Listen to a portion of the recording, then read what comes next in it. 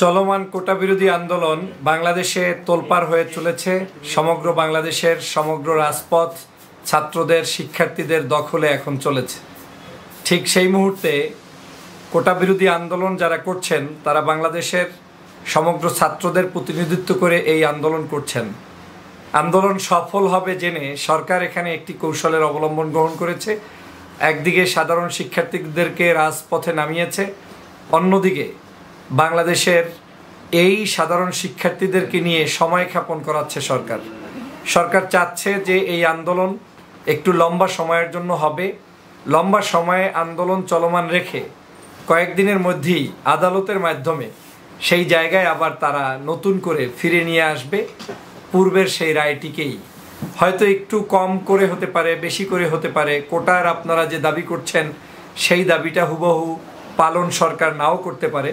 কিন্তু এতটুকু মোটামুটি নিশ্চিত যে কোটা বিরোধী আন্দোলন যারা করছেন, আপনারাই সফল হবেন এবং সরকার সেই জায়গায় হয়তোবা তাদের পলিসিগত কারণে তারা সেই ডিসিশন নিয়ে রেখেছে। আমার কাছে মনে হচ্ছে আগামী দুই এক দিনের মধ্যে বাংলাদেশের কোর্টের মাধ্যমেই বাংলাদেশের সাধারণ শিক্ষার্থীদের যে দাবি, সেই দাবির ফলাফল তারা পেতে যাচ্ছেন তথা বাংলাদেশে কোটা যে আন্দোলন চলছে, এই কোটা আর থাকবে না। অথবা কম করে কোটা নির্ধারণ করে দেওয়ার একটি নির্দেশনা সেখান থেকে আসতে পারে। তাহলে বন্ধুরা আপনারা বলতে পারেন যে কেন তাহলে বাংলাদেশের সাধারণ শিক্ষার্থীদেরকে রাজপথে ফেসিস্ট এই শেখ হাসিনা সরকার নামিয়ে কি খেলা দেখছেন? হ্যাঁ শেখ হাসিনা খেলাই দেখছেন। শেখ হাসিনা চায় যে সাধারণ শিক্ষার্থীরা আন্দোলন করুক, রাজপথে ঝাঁপিয়ে পড়ুক, তারা বিভিন্ন ধরনের অ্যাক্টিভিটিসের সাথে সম্পৃক্ত থাকুক। কিন্তু এই সম্পৃক্ততার ফাঁকে বাংলাদেশের জাতীয় অনেক বড় বড় ইস্যুগুলোকে তারা বিভিন্নভাবে তাদের এই ইস্যুগুলোকে টেনে এনে ওই বড় ইস্যুগুলোকে দাবিয়ে রাখতে চায়। সে কারণেই মাঝে মাঝে দেখবেন কোটার জন্য হঠাৎ করে সরকারের পক্ষ থেকে মানে এমন কিছু বলে দেওয়া হবে যেটার কারণে ছাত্র শিক্ষার্থীরা আন্দোলন করবে। আবার দেখা যাবে যে বাংলাদেশের ছাগলকাণ্ড নিয়ে কর্মকাণ্ড ঘটবে, মতিউর নিয়ে কর্মকাণ্ড ঘটবে, ড্রাইভার আবেদ নিয়ে কর্মকাণ্ড ঘটবে। পুলিশের প্রধান সাবেক বেনজিরকে নিয়ে কর্মকাণ্ড ঘটবে, আমাদের আর্মি চিফ সাবেক আপনার আজিজকে নিয়ে কর্মকাণ্ড ঘটবে, এই সব কিছু হচ্ছে ফেসিবাদের সাজানো একটি রূপ। এই ফেসিবাদ সরকার যখন টিকে থাকতে চায়, তারা এই ধরনের অ্যাক্টিভিটিস সবসময়ই করে থাকে আর তাই এখন করছে। আমি বিশ্বাস করি এই ফেসিবাদ এখন ছাত্রদের সাথে যে তালবাহনা করছে, এটাও এক ধরনের চরম ছাত্রদের সাথে, শিক্ষার্থীদের সাথে চরম অবমাননাকর একটি বিষয়।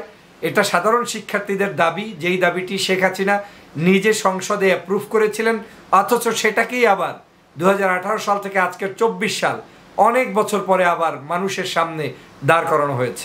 আমি বিশ্বাস করি, এই সকল দাবি দিয়ে আমাদের শিক্ষার্থীদের সাথে প্রতারণা বন্ধ করা উচিত। বাংলাদেশের সকল সরকার যারাই থাকবে, তাদের উচিত জনকল্যাণে কাজ করা, মানুষের কল্যাণে কাজ করা, ছাত্র কল্যাণে কাজ করা, ছাত্রদের অধিকারগুলো দেখা ছাপ্পান্ন পার্সেন্ট কোটা কোনো অবস্থায় বাংলাদেশের বর্তমান পরিস্থিতিতে থাকতে পারে না। কারণ মুক্তিযুদ্ধের সময় যারা যুদ্ধ করেছে, তারা বাংলাদেশে এখন কেউ এই কোটার মাধ্যমে চাকরি নেওয়ার উপযুক্ত নেই। কারণ যদি কেউ বেঁচেও থাকে, তার বয়স এখন পঁয়ষট্টি, সত্তর, এর নিচে কারও বয়স নেই।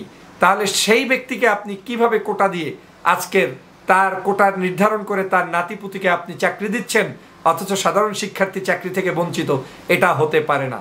আমি মনে করি এই দাবির সপক্ষে যারা আন্দোলন করেছেন, আপনারা দেশপ্রেমিক। আপনারা ছাত্র আন্দোলনের পক্ষে ঝাঁপিয়ে পড়েছেন, ছাত্রদেরকে নিয়ে কথা বলেছেন, আপনাদের ত্যাগ স্বীকার করেছেন, এই ত্যাগ আরও স্বীকার করতে হবে। যতক্ষণ পর্যন্ত ফেসিবাদ শেখ হাসিনা এই দাবি না মেনে নিবে, ততক্ষণ পর্যন্ত রাজপথ থেকে ওঠা যাবে না। কোর্টের মাধ্যমে হোক আর যে মাধ্যমেই হোক, ছাত্রদের অধিকার আদায় আগে করে নিতেই হবে। এটা কোনো রাজনৈতিক ইস্যু নয়। এই ইস্যু হচ্ছে সার্বজনীন। এই ইস্যু হচ্ছে সকল দল, মত, জাতি, ধর্ম, বর্ণ, নির্বিশেষে সকলের। অতএব এই ইস্যুকে আমাদের সামনে নিয়ে পথ চলতে হবে এবং এই ইস্যুভিত্তিক আন্দোলনটাকেই বাংলাদেশের মানুষের ভোটাধিকারের আন্দোলনে রূপান্তরিত করতে হবে, গণতান্ত্রিক আন্দোলনে রূপান্তরিত করতে হবে। যখন বাংলাদেশে একটি বৈধ ভোটের সরকার থাকবে, তখন এই ফেসিবাদ শেখ হাসিনার পতন নিশ্চিত হবে ইনশাআল্লাহ। সবাই ভালো থাকবেন, সুস্থ থাকবেন। আল্লাহ হাফেজ। আসসালামু আলাইকুম ওরহমতুল্লাহি wabarakatuh.